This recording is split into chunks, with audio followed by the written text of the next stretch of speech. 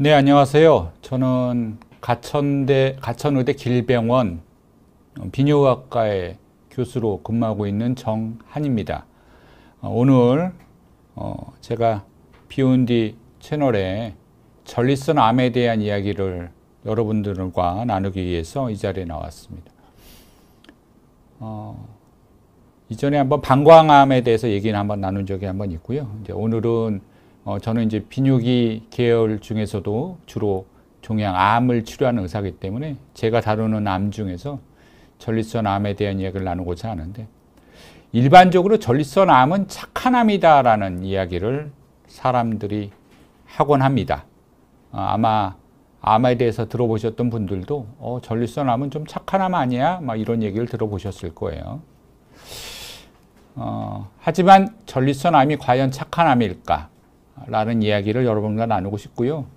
그리고 이제 제가 어, 암 치료를 하다 보니까 결국은 암으로 인해서 사망에 이르는 환자들을 저도 계속 대하게 됩니다.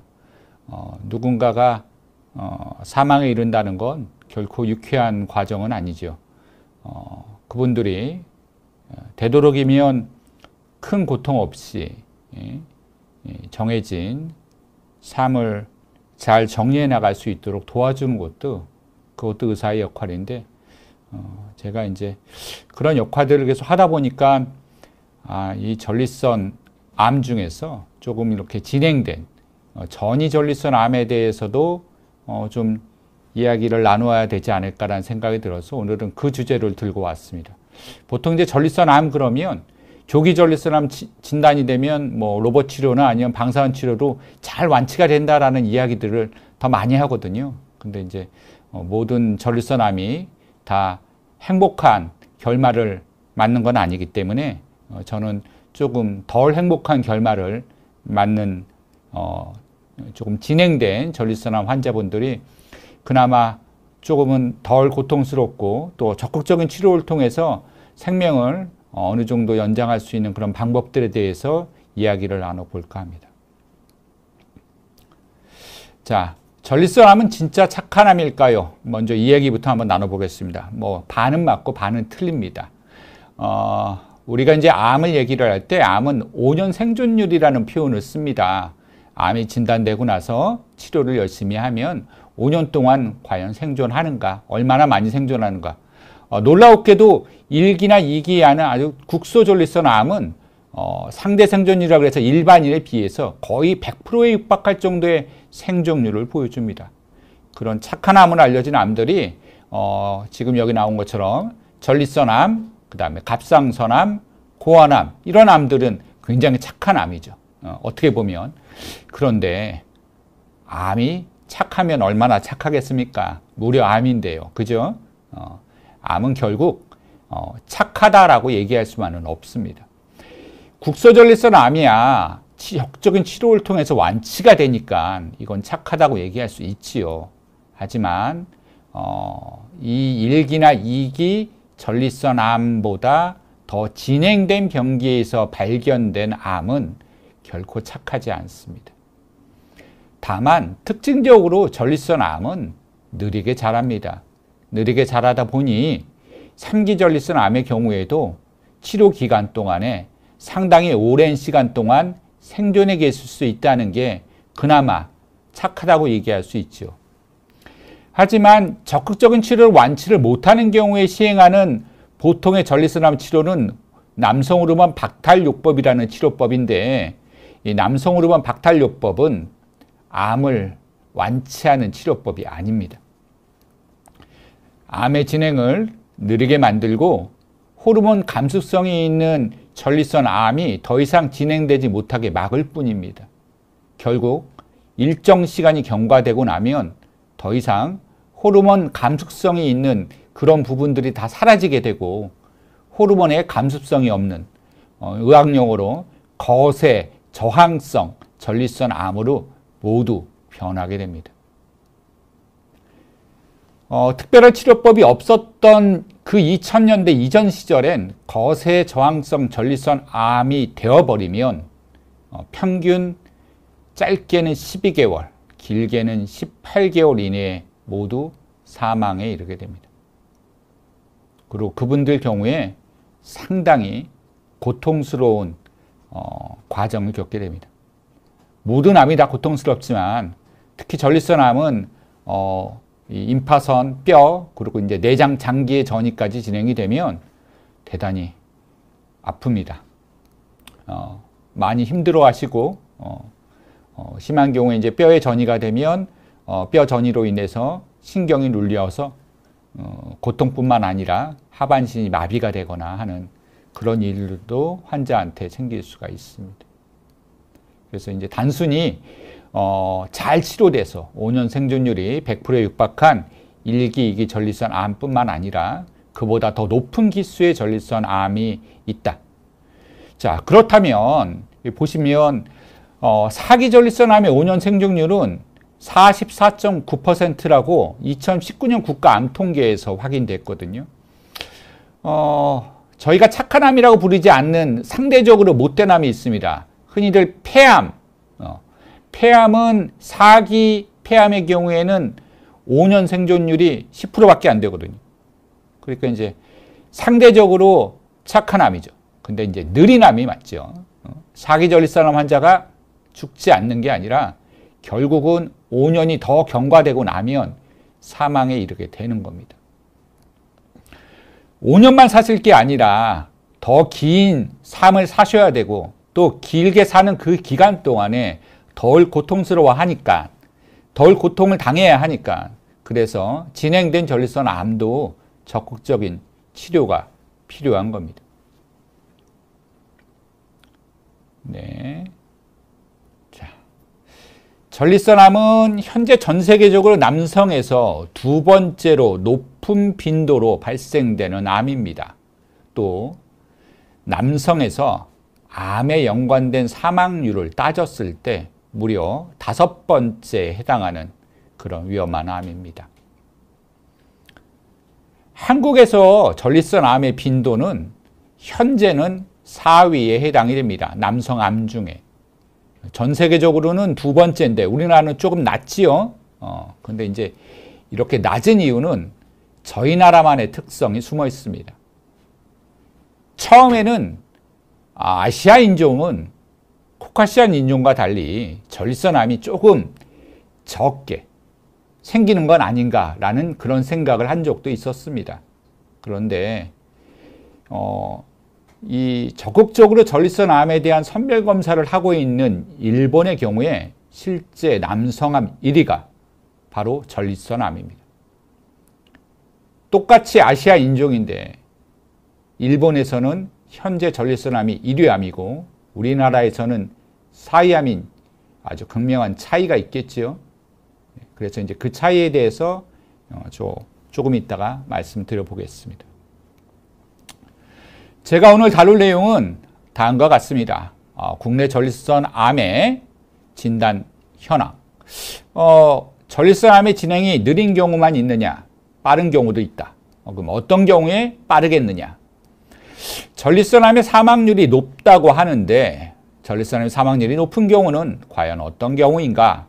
또 이렇게 3기 이상의 또는 4기로 불리는 전이 전립선 암은 어떠한 치료법들을 통해서 환자분들이 도움을 받을 수 있는가? 어, 대표적인 치료로 알려진 전립선암의 남성 호르몬 박탈요법은 어떤 거고 이 박탈요법을 계속 받는 거와 그 다음에 박탈요법을 어, 한 2년 정도 받다가 중간에 멈추는 간헐적 남성 호르몬 박탈요법은 상대적으로 어떤 장점이 있는가 이런 이야기를 나눠 드릴 거고요. 또 최근 어, 전이 전립선 암에 PSMA라고 어, 전립선 막 항원이라는 그런 표지자를 이용해서 등장한 새로운 치료법 어, 이런 치료법에 대해서도 제가 말씀드리고자 합니다. 결국 치료법들이 더 발전하면 발전할수록 이러한 전이전립선 암을 갖고 있는 환자분들이 조금 더 덜 고통스럽고 조금 더 오래 사실 수 있게 만들 수 있는 치료법들이 계속 지속적으로 개발되고 있는 거고요.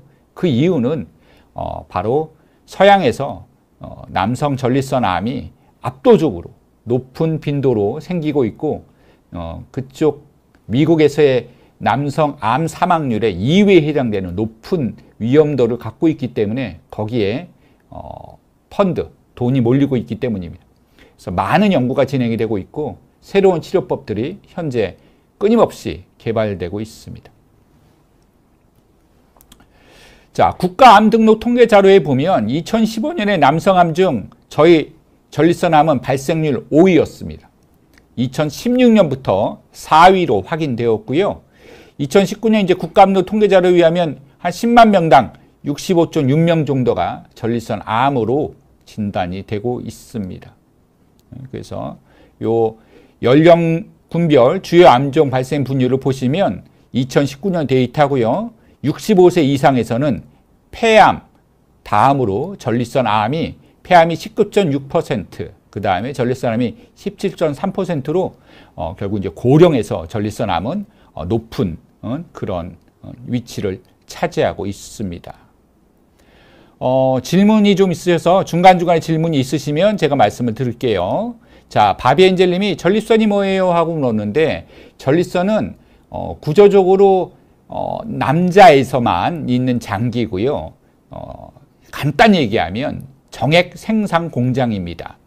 어, 정액이라는 건 결론적으로 이제 우리가 생식 능력을 갖춘 동물이라면 누구나 갖고 있는 남성, 어? 어, 남성, 그 남성 수컷에, 그러니까 남성 동물이라면 갖고 있는 거고요. 어, 거기서 정액을 만들어내는 장기인데 위치상으로는 방광 바로 아래 감자 모양의 구조물이고요. 이 전립선에 암이 생길 수가 있다라는 이야기를 드릴 수 있습니다. 그 여성분들한테는 전립선이 없습니다. 그리고 PSA 수치가 높으면 경직장 전립선 초음파에서 정상 소견이라면 전립선암의 가능성은 적은가요? 라는 질문이 있었거든요. 자, 이제 이 질문에 먼저 대답을 드리면 PSA 수치가 미국하고 우리 어, 대한비뇨기의학회, 대한비뇨기종양학회에서 하는 정상 기준치가 좀 다른데 저희는 정상 기준치를 지금 3 나노그램 per 밀리리터로 보고 있습니다. 미국은 4 나노그램 per 밀리리터로 보고 있고요. 근데 3 나노그램 per 밀리리터 이상 되는 PSA 수치에서 3에서 10 사이일 때 어, 정, 경직장 전립선 초음파가 정상 소견일 때 전립선암의 가능성은 대략적으로 20% 정도입니다. 쉽게 표현하면 5명 중에 1명만 전립선 암일 가능성이 있다는 뜻입니다. 어, PSA가 상대적으로 그렇게 아주 높은 암에 대한 어, specific, 그러니까 어, 특이도를 보이고 있는 건 아니지만 그래도 이제 PSA 수치가 높다면 저희가 전립선암을 의심해서 적극적인 검사를 하면 전립선암을 진단할 수 있는 좋은 tool이 될 수 있기 때문에 PSA는 여전히 어, 정확하고 강력한 암 표지자입니다. 어, 전립선 비대증은 제가 오늘 언급할 내용은 아니라서 어, 다음에 아마 언급되는 여러 어, 내용들이 있을 건데요. 전립선 비대증은 암하고 다르고요. 전립선이 연령에 따라서 이제 더 이상 적극적으로 정액을 많이 만들어내지 않아도 되면 전립선 의 조직들이 어, 남성 호르몬의 영향을 받아서 단단한 단단한 결절 형태로 바뀌게 되는데 그걸 전립선 비대증이라고 얘기하고요. 전립선 비대증은 뭐 요새 광고 많이 나오듯이 소변 보는 증상을 악화시키는 그런 어, 양성 질환입니다. 그러니까 암하고는 완전히 다른 내용이죠. 자, 이제 그 다음 진행을 또 한번 해보겠습니다. 앞서 얘기했듯이 일본 전립선 암은 현재 압도적 1위입니다. 어, 일본에는 어, 위암이 두 번째고요. 그 다음에 직장암이 세 번째고 폐암이 네 번째로 돼 있어서 전립선암이 현재 1위입니다. 같은 동양인인데 왜 일본은 전립선암이 1위고 한국은 전립선암이 4위에 불과할까? 방법은 아 그 차이는 어, 오랜 데이터를 이용해서 이 최근에 아주 따끈따끈한 논문이 하나 나왔거든요. 영남대학교에 계시는 우리 고영희 박사님께서 어, 이 연구를 진행을 시켰는데 이 연구에 따르면 2013년 일본에서 전립선 환자의 73.5%가 PSA 선별 검사를 통해서 진단되었다고 합니다. 다시 말해서 PSA 선별 검사가 그만큼 일본에서는 광범위하게 시행되고 있다는 얘기죠. 그런데 같은 기간 내에 한국은 전립선 암으로 진단된 환자의 약 25%만이 PSA 선별 검사에서 진단이 됩니다. 그럼 PSA 선별 검사에서 진단되지 않으면 어떻게 진단이 되는지 아세요? 이미 암이 진행된 상태에서 뼈에 전이가 있어서 통증이 생겨서 오거나 뭐 다른 임파선이 커져 있어서 확인돼서 오거나 이렇게 해서 진단되는 경우 그런 경우들이 있다는 얘기입니다. 미국은 50세 이상의 남자의 약 75%가 PSA 검사를 받았다고 하거든요. 한국은 2016년 통계에서 40세 이상 남자의 단 7.28%만이 PSA 검사를 받았습니다. 앞서 얘기했듯이 PSA 검사가 전립선암에 아주 특이도가 있는 건 아닙니다. 하지만 PSA가 높다면 저희가 전립선암을 예, 예측하고 전립선 암에 대한 검사를 진행하고 직장 수지 검사를 통해서 경결이 만져진다면 이런, 이런 경우에 적극적인 조직 검사를 하면 단지 20%가 아니라 더 높은 퍼센테이지에서 암이 진단이 되거든요. 그리고 요새는 이제 멀티 파라메타 MRI라 그래서 이제 다변수 MRI라는 영상 기법이 계속 발달해서 영상으로도 전립선암 유무를 파악할 수 있게 되었거든요. 그래서 이제 그런 기법들을 이용하면 훨씬 더 높은 진단율을 저희가 얻어낼 수가 있는 겁니다. 어, 케이씨님께서 전립선 비대증으로 초음파를 보는 경우 의료보험 적용을 받을 수 있나요? 예, 건강검진 목적으로 시행하는 것이 아닌 초음파 검사는 최근에는 급여 기준으로 인정이 되었기 때문에 단지 아, 나 궁금해. 나 전립선이 얼마나 큰지 단지 알고 싶어가 아니라 비뇨의학과 의사가 배뇨 증상으로 인해서 전립선 비대증에 대한 초음파를 시행하는 경우에는 의료보험 적용을 받으실 수 있습니다. 단지 궁금해서 하는 검사는 급여 기준이 되지 않습니다. 증상이 일정 주의 증상이 있어야 돼요. 저희가 이제 증상을 나타낼 때 국제 전립선 증상 점수표라는 그런 표를 이용해서 자가 설문지를 하는데 최소 8점 이상의 어, 배뇨 증상이 있어야 어, 저희가 전립선 비대증으로 저희가 판단하고 초음파를 급여 기준으로 할 수 있습니다. 자, 답변을 드렸고요. 자, 그렇다면 한국에서는 왜 이 PSA 검사가 7.28%밖에 안 될까요? 국가 건강검진 항목에 저희 PSA가 포함되어 있지 않아서라고 저는 생각합니다. 저희가 이제 국가 건강검진 항목에 PSA를 포함시켜 달라고 국가의 보건복지부죠. 뭐 수없이 요청을 드리고 있지만 번번이 거절당하고 있는 상황인데 어, 아마도 이 PSA가 검사를 했다 하더라도 다른 암에 비해서 사망률을 낮출 수 있는 가능성이 상대적으로 낮기 때문에 라는 미국 데이터를 인용해서 저희의 요구를 어, 들어주지 않으시는 것 같습니다. 근데 이제 저희 급여 체계에서 PSA는 검사 비용이 만 원이 채 안 되는 아주 극히 저렴한 검사법이거든요.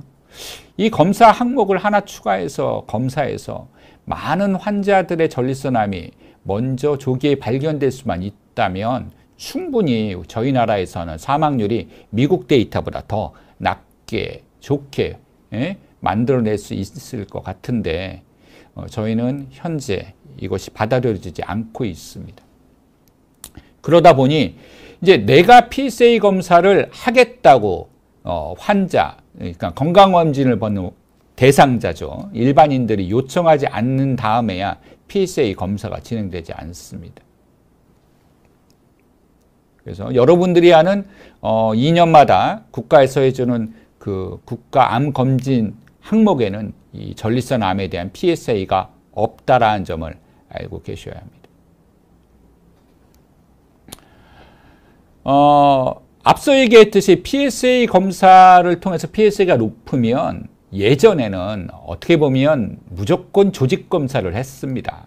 그러다 보니 앞서 얘기했던 대로 약 어, PSA가 높다 그래 조직 검사를 했을 때 다섯 명 중에 네 명은 전립선암이 아닐 수도 있 게 되니까 좀 어떻게 보면 약간 좀 불필요한 조직 검사가 진행됐을 수도 있다라고 볼 수도 있습니다.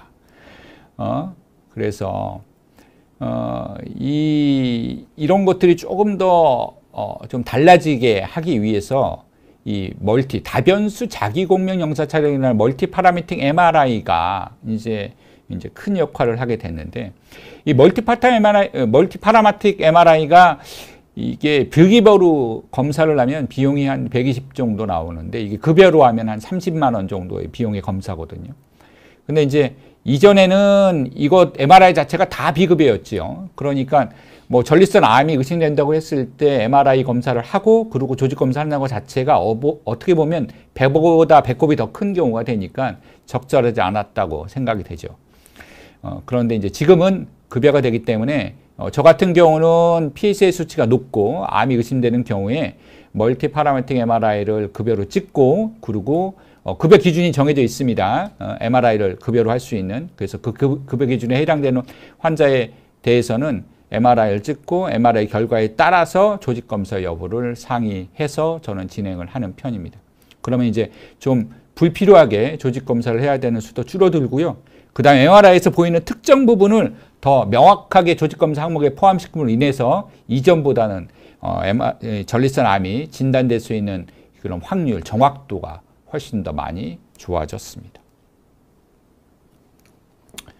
그래서 이 PSA 선별 검사를 계속 하면 이 이제 최근에 나온 연구를 보면 74세 연령의 전립선암 환자의 환자 사망률을 64%까지 낮출 수 있다 라는 이런 보고도 2018년 알버트 등에 의해서 보고가 됐고요.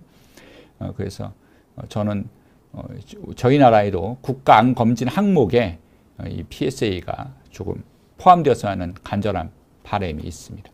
2019년 인식조사를 저희가 한 적이 있는데 대한비뇨기 학회에서 40대 이상 남성 중에 약 80%는 아예 전립선 암 검진을 받아본 적이 한 번도 없다고 합니다.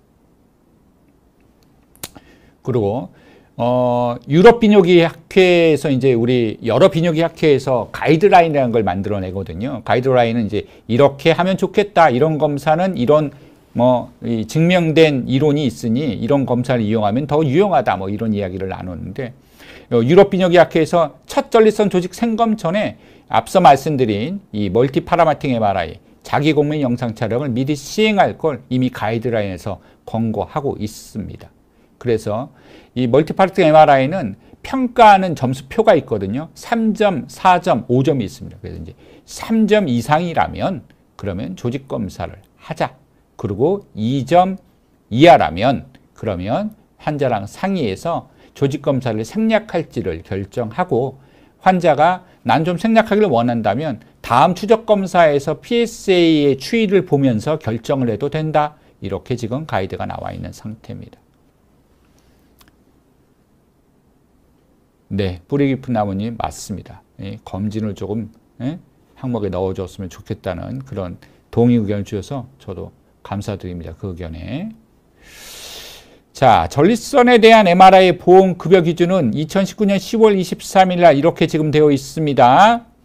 어, 직장 수지 검사상 이상 소견이 있고 경직장 전립선 초음파 검사 등에서 이상이 있는데 전립선 암이 의심되는 경우 그 다음에 혈중 PSA 또는 관련 인자 뭐 프리 PSA 레이셔라 그래서 이제 유리 PSA 비율 뭐 이런 게 있고요. 그 다음에 PSA 밀도, PSA 속도, 그 다음에 PHI라는 이런 검사법들이 있습니다. 이런 검사법들이 모두 다 PSA에서 파생된 파생 검사법들이고요. 여기서 이상이 있는 경우, 그리고 PSA가 급격하게 상승된 경우에 한해서는 어, 저희가 어, 이 전립선 암의 MRI를 보험급여로 시행할 수가 있습니다. 그래서 이제 저는 이 해당 기준에 해당되는 환자한테 조직검사 전에 이 MRI를 급여로 하고 있습니다. PS 이제 질문이 두 가지가 나왔는데 현재 시아버지께서는 사기시고 뼈까지 전이 돼서 많이 힘들어 하시고 계십니다. 이제 그 부분에 대해서는 제가 이제 방송이 쭉 뒤에 가면 사기절삼에 대한 치료와 안내를 하면서 아마 그 언급을 좀 드리면 될 것 같습니다. DSJSRHKK님께는 잠시 방송을 조금 더, 더 들어주시면 제가 꼭 그 질문에 답변을 좀 할 수 있도록 하겠습니다. PSA 검사는 비뇨학과가 아닌 어떠한 어, 가정의학과나 내과 어디과에 가서도 다 검사를 받을 수가 있습니다. 요청을 하시면 어, 쉽게 의사가 어, 처방을 내고 검사를 다 하실 수가 있고요. PSA 검사는 40세 이상에서는 뭐 어디든 검사를 받을 수가 있습니다. 자, 어, 급여로 검사를 받을 수가 있습니다. 전립선 암의 진행 속도가 아까 느리다라고 했지요. 예, 맞습니다. 전립선의 진행 속도는 상대로 진행 속도가 빠른 폐암에 비해서는 느린 게 맞습니다. 어, 전립선 암은 갑상선 암, 유방암과 같이 치료 5년 생존율이 거의 90%잖아요. 어, 하지만 진행 속도가 느리다고 암이 아닌 건 아니. 말기 암의 경우엔 예? 예? 말기 암의 경우에 이게 적극적인 치료를 했을 때는 한 3, 4년은 살거든요. 그러니까 다른 암에 비해서 조금 더 오래 사시다 뿐이지 암이 생명을 앗아가지 않도록 만드는 건 아닙니다. 또 전립선암은 진행 속도가 느리기 때문에 아주 극초기의 전립선 암은 치료를 안 하고 지켜보는 경우도 있어요. 보통 이제 스웨덴 같은 이런 어, 모든 의료가 복지화되어 있는 어, 무료화되어 있는 그런 국가에서 많이 선택하는 치료법인데 거기는 뭐 적극적인 관찰을 하는 분들이 많습니다. 어, 전립선 암은 어, Gleason score라고 불리는 전립선 암의 등급이 있거든요. 점수 등급이 6점부터 시작되는데 6점, 7점, 8점, 9점, 10점이 있습니다. 6점은 제일 낮은 점수죠. 그 6점이면서 어, 양성 core에서 3분의 1 미만이고 각 core에서 50% 이하이고 전립선암이 두 배로 어? 증가되는데 걸린 시간이 따져봤더니 3년이 넘은 경우 뭐 그 다음에 속도가 1년에 어? 2, 보다 적은 경우에 해당돼서는 그냥 어, 적극적으로 어, 수술을 하지 않고 지켜보다가 어? 만약에 PSA 더블링 타임이 3년보다 더 짧아지거나 PSA 속도가 1년에 2보다 높아진다면 그러면 어, 다시 치료를 한다라는 이런 기준을 갖고 어, 하기도 합니다. 그걸 저희가 어, 적극적 관찰, active surveillance 이렇게 표현을 하기도 합니다. 자, 앞서 언급했듯이 전립선암이 진행된 상태에서 진단된 경우가 국내에는 더 많습니다. PSA 선별 검사가 어, 충분히 진행되고 있지 않기 때문에 국내 보건공단 데이터를 활용해 보면 사기로 전이 상태 진단되는 환자 비율이 저희 나라는 15에서 20%입니다. 무려 사기입니다. 어? 뼈전이나 이미 어, 어, 저 내장장기나 아니면은 어, 어, 이런 임파선 전이가 이미 진행된 경우를 얘기하죠. 미국의 SEER 데이터라는 데이터가 있는데 이 데이터에서는 사기 전, 전이 상태에 진단되는 환자의 비율이 6%밖에 안 되거든요. 압도적으로 저희가 많죠. 그래서 이제 사기라고 하면 주위 조직까지 침범한 골반 임파선을 포함한 예? 뼈, 타장기, 내부장기에 전이된 걸 사기라고 우리가 합니다. 어, 저희 대한비뇨의학재단하고 비뇨기 종양학회가 전립선 암 환우 건강 증진협회 소속 전립선 환자 212명 대상으로 선생님께서는 진단 당시에 전립선이 몇 끼셨습니까? 하고 한번 여쭤봤어요. 그랬더니 거기에 약 47%가 이미 3기 이상이었다고. 그러니까 이제 이, 이런 걸 조기 진단하는 게 그만큼 중요하다는 얘기를 다시 한번 강조드립니다. 그만큼 PSA 검사가 조금 더 적극적으로 검사되어야 한다는 얘기죠.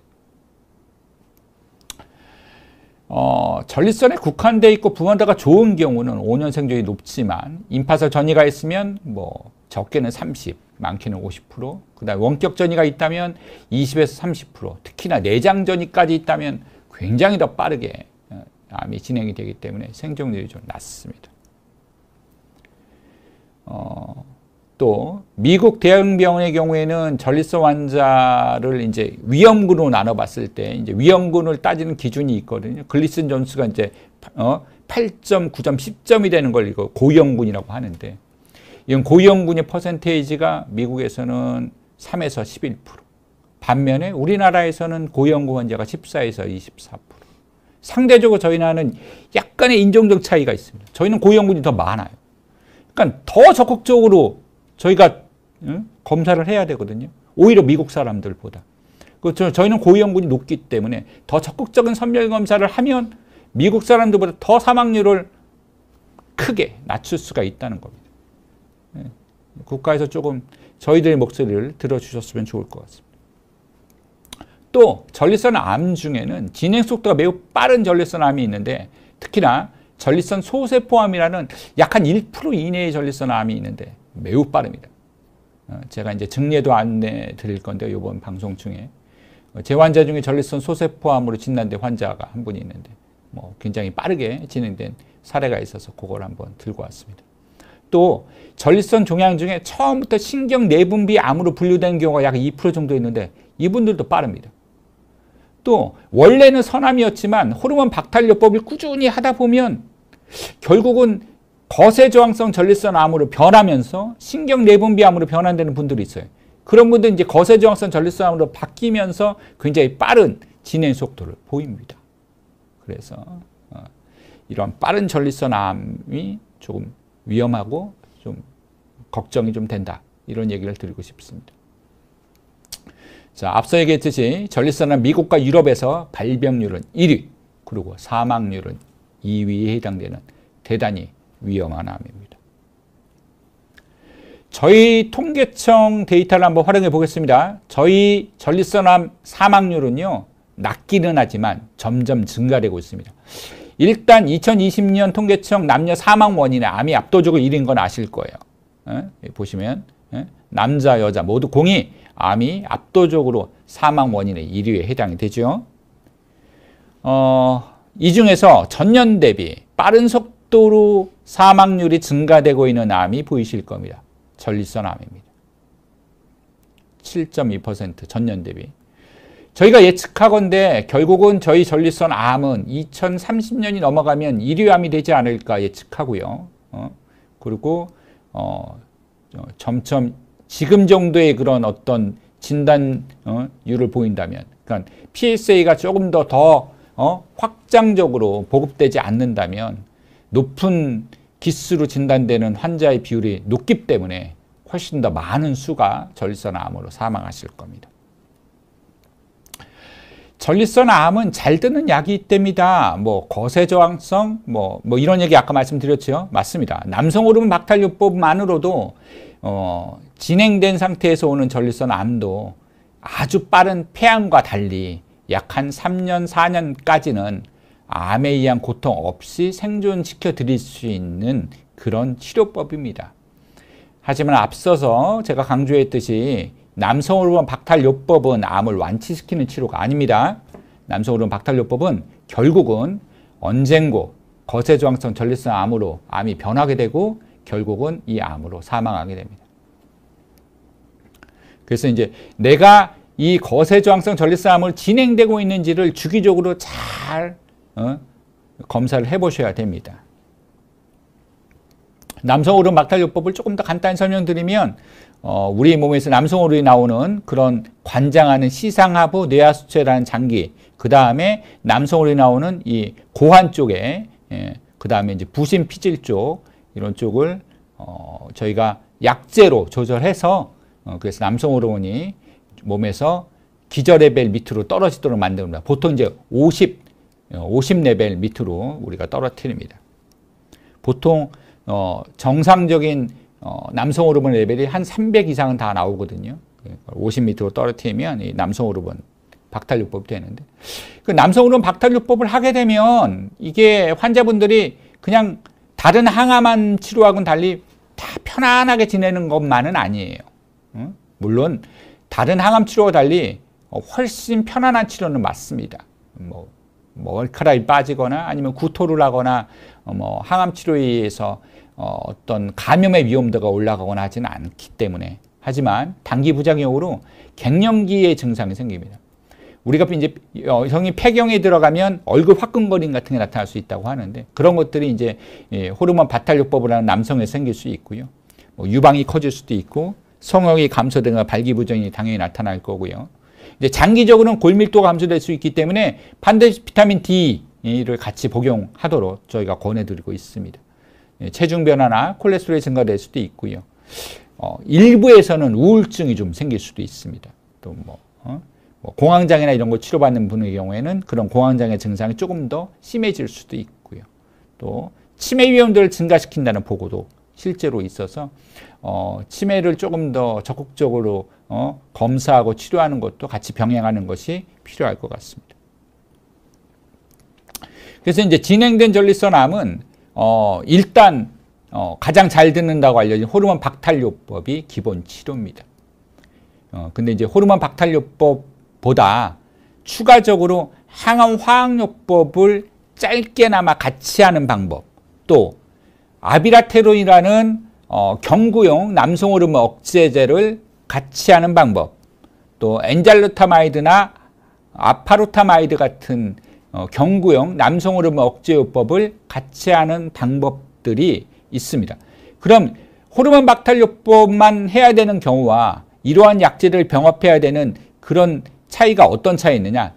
진행되더라도 더 많이 진행된 경우, 진단 당시 진단돼서 이미 전이병소가 단지 한 군데 보이는 게 아니라 여러 군데에 뼈 전이가 있는 경우, 이런 경우에는 어, 이 밑에 보이는 이러한 이 예, 병역요법이 훨씬 더 환자의 생존율을 더 올린다는 보고들이 최근에 나오고 있어서 어, 단지 조금 더 진행된 예, 예, 단계 전이 예, 전립선암으로 진단된 분의 경우에는 호르몬 박탈요법만 하면서 기다려 보는 것보다 조금 더 적극적인 치료를 하는 것이 도움이 될 수 있습니다. 다만 이제 이러한 적극적인 치료에는 어, 저희 급여 기준이 항상 걸리죠. 저희는 이제 심평원에서 어, 어, 적극적으로 의료를 통제하고 있는 나라이기 때문에 어, 저희 이 급여 기준에 걸려 걸리는데 이게 급여가 되기는 하지만 이저 급여되는 항목 퍼센트 자체가 높지 않기 때문에 좀 환자분들이 일정 정도의 비용을 좀 부담을 해야 된다라는 그런 단점이 좀 있습니다. 그래서 한 달 정도 치료하면 꽤 큰 비용을 환자분들이 좀 부담을 해야 됩니다. 어, 제가 이제 여기 보여드리는 건 영어로 되어 있긴 하지만 이게 NCCN이라는 미국에 있는 31개의 암센터의 연합체입니다. 어, 미국에 있는 31개 암센터 연합체들이요, 매년 모여서 각종 암에 대한 가이드라인을 발표하거든요. 근데 이제 그 가이드라인을 전국에 있는 거의 모든 의사들이 암을 치료하는 의사들이 다 중요하게 생각을 하고 따릅니다. 그래서 NCCN 가이드라인이 굉장히 중요한 포인트가 되는데 제가 이제 앞서 말씀드린 내용이 이 NCCN 가이드라인에서 따온 내용이에요. 여기 보시면 어, 호르몬을 전혀 사용하지 않았던 전립선 암 환자에서 현재 전이가 없다면 치료 없이 지켜봐라. 어? 이게 가이드고요. 그리고 전이가 있다면 어? 그러면 호르몬 박탈요법, ADT가 호르몬 박탈요법인데 호르몬 박탈요법을 하던가 아니면 다음과 같은 걸 같이 병행해라. 이게 가이드라인이에요. 그래서 이제 제가 앞서 말씀드린 그 전 페이지의 내용이 바로 요 가이드라인을 얘기한 겁니다. 자, 어, 전립선 잠깐 이제 어, 질문 들어온 거 한번 확인 한번 해보겠습니다. 전립선 제거술로 로봇 수술할 예정입니다. 예우는 어떨까요? 암이 완전히 제거되는지요? 조직검사에서 24군데, 8군데 암이 나왔다고 합니다. 어, PSA 수치는 18 정도고요. 뼈 스캔도 할 예정입니다. 자, PSA 수치가 20이 넘지 않으면 아마도 뼈 스캔에서 음성이 나올 가능성이 대단히 높습니다. 따라서 어, 김지현 님이 질문하신 어, 이 해당되는 어, 요 사례의 경우에는 어, 로봇 수술할 경우에 암이 완전히 제거될 확률이 어, 여전히 높은 퍼센테이지로 나올 수 있다고 볼 수 있습니다. 하지만 모든 영상에서 나온 전립선 병기가 2기라고 하더라도 실제 치료를 했더니 3기 전립선으로 나오는 환자가 저도 경험을 합니다. 당황스럽지요. 환자한테 아우 영상에서 2기입니다. 뼈도 어, 전이가 없고 이건 로봇 수술 제가 잘 해드리면 그러면 충분히 어, 완치 높은 퍼센트 완치를 보일 수 있을 것 같습니다. 자 치료해 봅시다. 저도 최선을 다하겠습니다. 하고 치료를 했어요. 근데 애석하게도 어, 조직 검사에서 이제 3기가 나오는 거죠. 3기가 나왔다는 얘기는 전립선 피막을 암이 약간 뚫고 나갔다. 또는 전립선 주변에 있는 정낭이 전립선에 바로 붙어 있거든요. 정낭에 전립선이 침, 암이 침범했다. 이러면 3기가 됩니다. 그 3기가 되면 아주 절망적이냐? 아니에요. 그렇지는 않습니다. 3기 전립선 암으로 나온 경우에 저희가 추가적으로 수술한 이후에 대부분 한 달 이내에 방사선 치료를 병행을 하면 아주 높은 완치율을 얻을 수 있습니다. 그러니까 지금 이렇게 수술할 예정이시라면 적극적인 치료를 잘 받으시고요. 설사 3기가 나온다 하더라도 저희가 거기에 대해서 또 다른 치료법이 있다라는 걸 알고 계시면 되고요. 해당 부위에 방사선 치료를 하면서 단기적으로 한 3개월 정도 어, 남성으로 박탈요법을 하면 그러면 가장 좋은 예후를 보이는 거로 알려져 있습니다. 김지연님의 대답을 드렸습니다. 자, 이제 상대적으로 광범위한 전이가 동반된 더 높은, 음, 더 많은 부위로 전이된 암에 대한 얘기를 드리고자 합니다. 이제 앞서 얘기했듯이 이제 호르몬 박탈요법에 대해서 결국 호르몬 박탈요법을 하는 게 아니라 항암 화학요법을 병행하든가 아니면 아비라테론을 병행하든가 아니면 엔잘루타마이드나 아팔루타마이드를 병행하든가 하는 것이 더 예후에 좋겠다라는 얘기를 드렸는데 각각의 데이터들입니다. 보시면 이제 ECOG 3805 이게 이제 뭐냐 그러면 뭐 동부 동부 암 그룹 뭐 이런 거예요. 그러니까 동부 암 그룹에서 3,800 다섯 번째 임상 시험이란 뜻이에요. 그러니까 그런 임상 시험을 해서 이게 호르몬 박탈요법을 시행한 군과 호르몬 박탈요법의 항암화학요법을 병행한 군. 이 항암화학요법은 도세탁세를 얘기합니다. 도세탁설 항암 화학요법을 병행한 군에 대해서 한번 비교해 본 거예요. 그랬더니 한 17개월 정도 더 사시더라라는 거예요. 어, 겨우 17개월 이렇게 얘기할 수 있지만 우리가 이제 생존율을 연장할 때 얘기할 수 있는 건 단지 생존율 연장만 보면 안 됩니다. 저희가 이제 어, 이따 이후에 뭐 생존물 그 그래프를 하나 보여드릴 건데 생존이 연장되는 걸 보면 대조군이 이런 식으로 나오게 되면 그 생존을 연장되는 군이 요거부터 조금 더 위에 이렇게 약간 곡선을 그리면서 결국은 끝에 가서는 어, 이 사망하는 게 비슷하게 나오거든요. 근데 이제 요 구간, 요, 이 비어 있는 요 구간이 중요한데, 요 비어 있는 요 구간이 뭐냐 그러면, 환자분의 증상이 심하지 않으면서 편안하게 살 수 있는 공, 그 기간이에요. 그걸 저희가 progression free survival, 이제 우리말로 바꾸면, 어, 이제 진행하지 않는, 무진행, 어? 생존 기간이라 보거든요.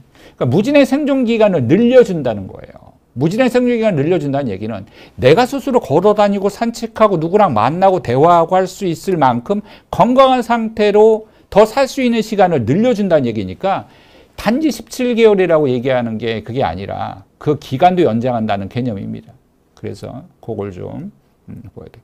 딸기님이 얘기한 대로 전립선 위험이 어, 암으로 악화되지는 않습니다. 네. 라라수인님이 지금 질문하신 게 있어. 이것도 한번 답변하고 넘어가 볼게요. 아버님께서 작년 7월에 전립선 3기 말 PSA 100 정도였고요. 뼈전이 없어 수술을 하셨어요. 이번에 이제 PSA가 0.1로 수술하셨는데 잘 관리가 되셨거든요. 아우 다행이셨어요. 근데 이번 달에 0.2가 나오시고 6월에 MRI 뼈 검사 검사를 해보기로 했습니다. 방사선 치료가 필요한지요? 자, 저희가 3기 전립선 암에서 수술한 이후에 바로 방사선 치료를 하는 경우와 그 다음에 지연시켜서 나중에 방사선 치료를 하는 경우로 치료 기준이 나누어져 있습니다. 어느 쪽이 더 우월하다라는 건 현재로서는 더 비등비등한 것 같습니다. 그런데 제 환자의 경우에도 수술하고 나서 바로 한 달 내에 방사선 치료를 하는 경우도 있지만 더 delay 시켜서 지연시켜 방사선 치료하는 환자가 있는데 절대적인 건 환자가 수술한 이후에 어느 정도 요실금이 조절되는가에 따라 달라요. 방사선 치료를 하면 요실금이 심한 경우에 요실금이 더 이상 회복되지 않고 그대로 고정돼 버립니다. 그런데 시간이 지나면서 요실금이 점점 좋아지거든요. 그렇다면 방사선 치료 치료를 당장 서두르지 않고 조금 기다렸다가 하는 것도 의미가 있습니다. 왜냐하면 3회 질을 높여주는 거잖아요. 자, PSA로 얘기하면 PSA가 수술하고 0.1까지 떨어졌어요. 어, 그러면 저는 좋다고 얘기합니다. 안 합니다. 방사선 치료. 기다려보자고 얘기를 해요. 자, 잘 기다리셨고요. 이번 때 0.2가 나왔다면 0.2보다 나온 수치가 적어도 두 번 연속해서 나와야 됩니다. 그 다음에 두 배로 증가되는 PSADT라고 하는 두 배로 증가되는 시간이 혹시나 얼마나 빠른지를 한번 보십시오. 만약에 두 배로 증가되는 시간이 짧다 그러면 적극적으로 방사선 치료를 땡겨서 하는 게 유리합니다. 그래서 PSA 수치가 0.2보다 더 높은 수치로 적어도 두 번 이상 나오게 되면 방사선 치료를 상의하는 것이 좋겠습니다. 그리고 박재성님 질문하 검진에서 PSA 높을 때 전립선 암과 전립선 염을 어떻게 구분할 수 있나요? 라는 건 어, PSA가 높은 게 전립선 염일 수도 있지요. 근데 이제 직장 수지 검사도 하고 멀티파라트 MRI 같은 영상 검사를 통해서 자기 공무 영상을 통해서 암과 전립선 염은 쉽게 구분할 수 있고요. 또 전립선 염은 우리가 소변 검사에서 백혈과 나오듯이 염증에서 나타날 수 있는 특이적인 어, 수치들이 나오기 때문에 우리가 구분할 수 있습니다. 자, 이제 조금 더 진행을 해볼게요. 자, 어, 그리고 이제 요런 도세탁셀 경우에는 이제 18주 정도의 치료 기간을 갖고요. 어, 현재 이 급여의 5%만 환자가 부담하기 때문에 경제적으로 아주 그렇게 크게 부담되지 않은 병행요법이 되겠습니다. 아비라테론을 병행하는 경우는 어, 라티튜드라는 연구에서 진행을 했고요. 마찬가지로 한 17개월 생존이 연장이 됐습니다. 그리고 진행 위험도 이게 이제 무진행 생존율을 높였다는 얘기거든요. 이게 한 34% 정도 감소됐는데 어, 2년 정도 치료를 하고요. 이제 급여의 한 30% 정도가 환자 부담을 하기 때문에 요거는 조금 환자가 부담이 될 수 있지요. 어, 그리고 이제 호르몬 박탈요법에 엔잘루타마이드나 아파타, 어, 아팔루타마이드를 병합하는 건 최근에 급여 인정이 돼서 지금 인정이 되고 있고요. 역시 급여 30% 정도의 환자 부담을 하고 있습니다. 호르몬 박탈요법을 조금 진행되지 않은 전립선 암 환자에서 한다 그랬죠. 어, 이때 여러 가지 다양한 호르몬 박탈요법에 의한 부작용들이 있기 때문에 어, 저는 2년 이상 호르몬 박탈요법을 꾸준히 유지했던 환자의 경우엔 간헐적 호르몬 박탈요법을 해보도록 권합니다. 간헐적 호르몬 박탈요법을 하면 일단 어, 호르몬 박탈요법에 사용됐던 약을 안 쓰니까 경제적으로 도움이 되겠죠. 두 번째, 호르몬 박탈요법에 따른 여러 가지 합병증들, 뭐 갱년기 증상, 그 다음에 근육, 어, 예, 근육 저 어, 퍼센테이지가 감소되는 거, 뭐 체력이 저하되는 거, 골밀도가 저하되는 거, 우울증 하는 것들이 모두 다 감소가 될 수 있고요. 좋아집니다. 아, 그래서 어, 저희가 호르몬 박탈요법을 하는데 이거는 반드시 아주 주기적인 PSA 추적 검사를 하면서 하셔야 돼요. PSA 수치가 우리가 올라가면 다시 박탈요법을 시작해야 되는데 그걸 놓쳐버리면 결국은 어, 이 호르몬 박탈요법을 한 군에서 더 사망을 더 많이 할 수도 있게 되기 때문에 이거는 굉장히 주의해야 돼서 의사랑 상의하면서 정해야 됩니다. 근데 어, 저는 이제 호르몬 박탈요법을 제가 어, 이렇게 면밀하게 해 보면 박탈요법에서 저는 이제 그걸 스위치 오프, 스위치 온이라고 표현을 하는데 스위치 오프 단계 호르몬 박탈요법에서 호르몬 안 쓰는 단계에서 환자분들이 한 1년에서 2년까지 쫙 지내시면 어, 굉장히 행복해 하십니다. 그래서 좋은 치료법이라고 저는 생각을 하고 있습니다. 그리고 어, 아직 전이병소가 발견되지 않은 거세저항성 전립선 암의 치료에서는 어, 앞서 얘기했던 PSA가 두 배로 되는 기간에 따라서 조금 치료를 달리해야 되는데 아직 전이병소가 발견되지 않았어요. 하지만 호르몬이 더 이상 듣지 않는 게 확인이 됐습니다. PSA 수치가 계속 올라가는 거예요. 어? 그래서 PSA 수치가 2보다 높게 올라가면 저희가 이제 거세저항성 전립선 암이 되었다고 표현을 하는데 그때 PSA가 올라가는 속도가 두 배가 되는 게 10개월보다 높은 경우에는 전이병소가 보일 때까지 지켜보고요. 그 다음에 전이병소가 어, 안 보인다 하더라도 PSA가 두 배가 되는 시간이 10개월보다 짧으면 보다 더 적극적인 치료를 해야 돼요. 네, 그래서 어, 보면 이런 아팔루타마이드, 그 다음에 다롤루타마이드, 엔잘루타마이드 같은 그런 옵션들을 사용하도록 되어 있습니다. 그러니까 기존에 있는 호르몬 박탈요법을 못 쓰니까 다른 치료를 해야 된다는 뜻입니다. 네. 그리고 보통 이렇게 된 경우에 급여 기준으로 이 이런 어 M0 CRPC 환자에서는 지금 현재는 어 애석하게도 이제 거세 저항성으로 이제 나오게 되면 전이병사가 없으면 뭐 지금은 저희 급여 기준은 계속 지켜보는 쪽으로 돼 있어서 이런 치료를 하려 그러면 조금 환자분들의 비용을 내셔야 되는 상황입니다. 아직은 그렇습니다. 어, 전이병수가 이미 발견됐어. 그리고 이미 이미 거세 저항성이에요. 이제 더 이상 듣지 않죠. 어? 그래서 이제 이런 분들은 어, 남성 호르몬 박탈요법이 더 이상 듣지 않으니까 어, 결국 남성 호르몬 박탈요법 중에서 어, 이 주사를 맞는 응? 주사를 맞는 그 황체 호르몬 어, 환체 호르몬 자극 주사 그거 하나만 유지를 하고 다음에 대부분 어, 세포 독성 항암 화학약제인 도세탁세를 사용하게 됩니다. 그래서 이제 DSJ, SRH, KK님도 현재 어, 이런 항암 치료를 하고 계시다는 건데 이런 이 항암 화학약제를 지금 쓰고 계신 건지 아니면 어, 이 호, 아직은 호르몬 박탈요법만 하고 있는 건지도 좀 알려주시면 제가 조금 더 설명을 좀 드릴 수 있게 더 자세히 드릴 수 있을 것 같은데요. 어, 이제 뼈에 전이가 돼서 고통이죠. 뼈가 고, 전이가 되면 아프거든요. 아픕니다. 뼈, 뼈 전이는 아파요. 근데 뼈전이 고통을 없앨 수 있는 치료법은 방사선 치료를 해당되는 뼈 전이가 국소적이라면 해당되는 뼈 전이의 방사선 치료를 할 경우에 단순히 28번씩 하는 통상적인 방사선 치료 말고 사이버 나이프처럼 간바 나이프처럼 아주 고강도의 방사선 치료하면 고통이 빠르게 없어집니다. 그래서 뼈전이라는 통증은 어, 그러한 방사선 치료를 좀 고려해 보시는 게 좋을 것 같고요. 그 다음에 어, 가족으로서 어, 예를 들어서 이제 조금 더 진행돼서 이미 박탈요법이 안 들어서 거센 저항성을 갔다고 치면 그러면 이제 항암 화학요법을 하게 되는 경우가 있거든요. 아니면 2차 호르몬 경구용 억제제를 드시고 있는 경우가 있는데 이런 경우에 어, 결국 규칙적으로 환자분들이 고통을 느끼지 않도록 해주는 치료에 병행해서 그래도 어느 정도 근력 운동들을 잘 유지할 수 있도록 계속 도와주셔야 돼요. 그러니까 이제 힘드시다고 이제 근력 운동을 안 하기 시작하거나 이제 가만히 이제 누워 계시기 시작하면 굉장히 빠른 속도로 상태가 나빠지거든요. 그래서 이제 그런 것도 좀 신경을 좀 써주셔야 되고요. 어, 우리가 제가 이제 암 환자를 치료하다 보면 많은 분들이 아우 저 이거 저 육류 섭취 뭐 붉은색 육고기 먹으면 위험하다는데 안 먹어야 됩니까? 이런 얘기 많이 하시거든요. 어, 저는 어, 단백질 섭취가 이런 그 항암 치료를 받고 있는 분한테는 어느 정도 유지해 주는 게 상당히 중요하다고 생각을 해서 식이 섭취를 좀 잘할 수 있도록 좀 도움을 주셔야 돼요. 어, 특히나 이제 말기암으로 갈수록 식사를 잘 못하는 분들이 많은데 어, 저희가 암 환자의 경우에 이제 특례 산정 특례라는 게 한, 내에서 저희가 급여 인정을 받으면서 식욕 촉진제 같은 걸 사용할 수가 있거든요. 당뇨가 없다 그러면 이런 식욕 촉진제들은 환자한테 상당히 많은 도움이 됩니다.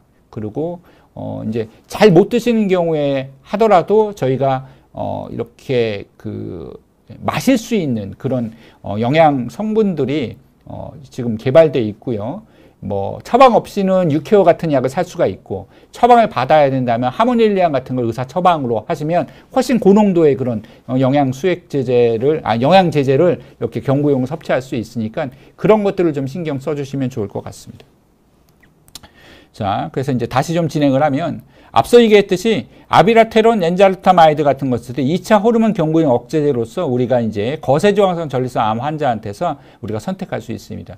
이제 급여 기준대로 저희 선평은 급여 기준대로만 따른다면 도세탁셀을 먼저 쓰고 도세탁셀을 듣지 않는 경우에 그때 2차 호르몬 경구용 억제제로 가면 어, 급여 기준을 계속 5%만 인정을 받으면서 그렇게 어, 큰 비용 부담 없이 치료를 할 수 있고요. 어, 그리고 아비라토론이나 엔젤로타마이드도 상당히 오랜 기간 동안 환자의 진행을 무진행으로 낮추면서 생존율을 조금 연장시킬 수 있는 그런 치료제이기 때문에 우리가 비록 전이병소까지 있는 거세저항성 암이라 하더라도 적극적인 치료를 하도록 어, 그렇게 하셔야 합니다. 포기하시는 것이 어, 결코 도움이 되지 않습니다. 물론 이제 이 치료가 다 듣지 않는 경우에도 지금 현재 저희가 급여 기준은 되지 않지만 어, 어, 이 면역 치료제로 면역 세포 치료라는 게 있고요. 뭐 라디움 223이라는 핵약 치료 같은 것들이 도입이 예, 지금 되고 있고요.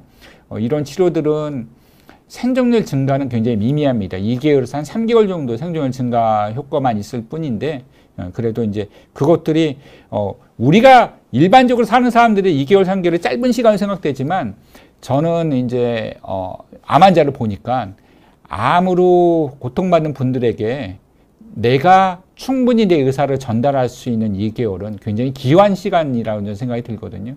그래서 이제 이러한 적극적인 치료가 분명히 그분들한테 전 도움이 된다고 생각을 합니다. 그래서 이것도 NCC장 가이드라인에 있는 내용이라고 말씀드릴 수 있습니다. 그래서 전이병소에 대한 것도 NCS랑 가이드라인을 바탕으로 말씀을 드렸고요. 어떤 치료를 먼저 했느냐에 따라서 그 다음 치료가 진행이 될 수 있습니다. 예를 들어서 나는 도색사슬 치료 전에 이미 아, 아비라테론이나 엔젤타마이든 걸 먼저 어, 2차 어, 호르몬 억제제를 먹었다고 한다면 그 이후에 도세탁셀 치료를 하실 수가 있는 겁니다. 자, 어, 지금은 아직까지는 이제 이 치료가 어, 이, 인정되진 않는데 요번에 이제 인정된 걸로 제가 어, 들은 것 같은데 PSMA 617 그래서 이제 PSM이라고 전이성 거세저항 전립선 암의 치료에 새로운 이정표가 됐다고 어, 작년 아스코라고 이제 미국에서 암 음? 어, 임상종합회 연례 학술 대회에서 발표된 거고요. 신문 기사 이제 이게 6월에 나왔었는데 이게 환자의 생존율을 올릴 수 있다라는 게 나왔고 저희 병원에 저희 나라에서도 죄송합니다. 서울대학교에서 이제 비뇨학과의 곽철 교수 팀께서 어, 어, 곽철 교수 팀이 이 바이오벤처 기업과 함께 이러한 표적 치료제를 연구와 상용화하겠다라고 발표한 바가 있습니다. 그래서 이런 치료법들이 조금 더 개발돼서 환자들한테 적용이 된다면 도움이 될 것 같은데요. 이 ASCO에서 발표한 발표 자료를 이제 영어 자료지만 보여드리면 여기 보시면 이 primary endpoint가 이제 우리가 어, 생존율 가지고 얘기한 거거든요. 그래서 이제 OS가 생존율, 이제 전체 생존율을 뜻입니다. 그래서 이 PSMA 치료를 했더니 전체 생존율이 올라갔더라. 그래서 치료를 하지 않은 군이 약 11.3개월이었는데 15.3개월로 약 4개월 정도 생존율을 올렸다.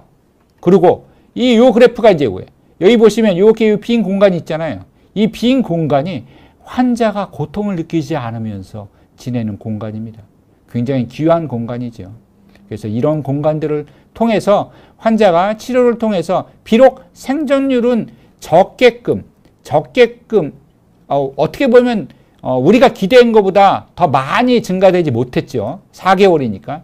하지만 진행되지 않는 기간을 충분히 늘려줄 수 있다는 측면에선 분명히 환자한테 도움이 되는 치료법이라고 얘기할 수 있습니다. 그래서 어, 3기나 4기 전립선암이 우리나라에도 많이 진단되지 않는 좋은 나라가 되었으면 좋겠습니다. 그리고 3기나 4기로 진단된 환자분들도 보다 적극적인 치료에 임하셔서 어, 조금 더 어, 무진행 생존 기간을 늘리시고 그리고 생존 기간의 연장을 보셔서 어, 그래서 어, 좋은 분들과 조금 더 어, 어, 소중한 만남을 이어갈 수 있는 그런 귀한 시간이 되시길 간절히 기원 드리겠습니다. 애써 힘들게 고통받는 모든 어, 전립선 환자분들께 어, 힘이 되는 그런 의사가 되도록 약속드리겠습니다. 감사합니다.